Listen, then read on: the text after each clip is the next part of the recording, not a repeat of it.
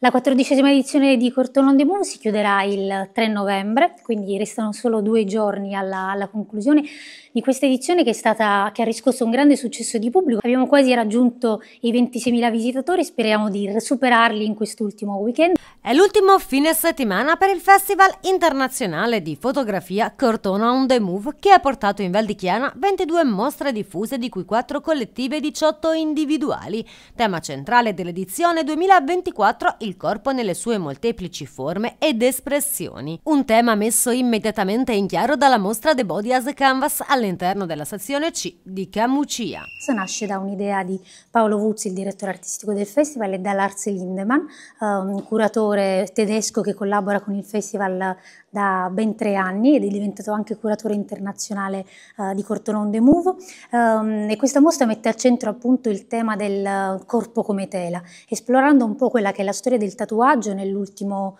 um, dal, da circa dal 1900 fino ai nostri, ai nostri giorni, uh, da diversi punti di vista e soprattutto da uh, diverse, andando ad analizzare quelle che sono le diverse culture del, del tatuaggio. Il tatuaggio che ehm, viene in qualche modo anche negato negato completamente, non viene accettato, considerato anche un peccato in, da, alcune, da alcune religioni e che invece oggi è una forma d'arte diffusissima e ben accettata um, e utilizzata. Insomma. Quindi questa, questa mostra in qualche modo unisce in maniera organica una ricerca antropologica, immagini d'archivio, immagini storiche e anche immagini di street photography a uh, lavori documentari di ben 11 artisti insieme a immagini appunto d'archivio grazie alla cortesia della uh, Library Congress del, di Washington DC. È importante perché questa mostra si svolge in un luogo inconsueto, diciamo così, è un ex magazzino delle ferrovie che viene riqualificato viene adibito a spazio d'arte.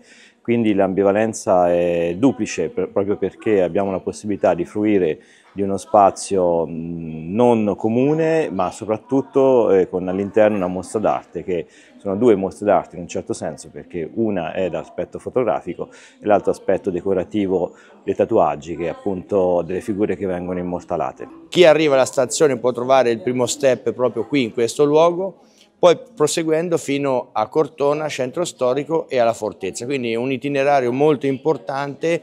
eh, le risultanze dei visitatori sono davvero eccellenti e noi siamo soddisfatti di aver sponsorizzato anche quest'anno Cortona on the Move.